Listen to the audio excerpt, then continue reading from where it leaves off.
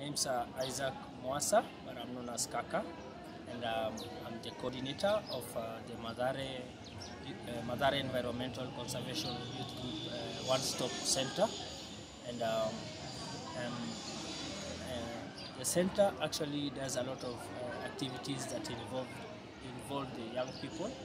And I consider it as a safe space because um, most of the young people come here to like uh,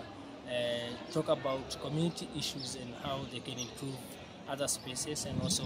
how they can come up with activities that will create opportunities amongst themselves. And I feel that this, the space helps a lot in like bringing the people together and, uh, and trying to see how like uh, we can do things together as a community and improve uh, each other's lives. We also have a football field and uh, it's also a safe space because before like uh, the kids will play on the roadside and it was dangerous for them. And uh, like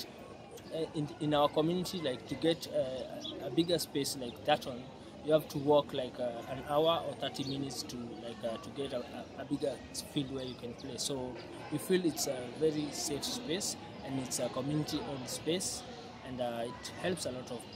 young people in doing activities that improve their livelihoods